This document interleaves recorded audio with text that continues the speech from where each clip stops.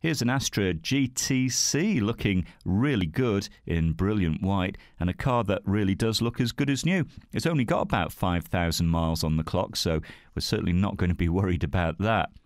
And uh, you've got the 2 litre diesel in this one, so although it's really entertaining to drive, and I think you'll very much enjoy the dynamics of the car, it returns decent fuel economy, 58 to the gallon combined.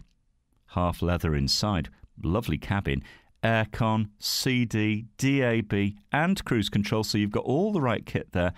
And I think looking the part with its three doors and a smart set of alloys. Now, if you like the look of this car but not sure if the figures are going to work out, don't forget you can check the finance options tab on our website.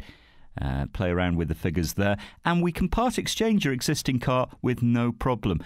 Bring your license with you, have a test drive, discover this great car for yourself at Fords of Winsford.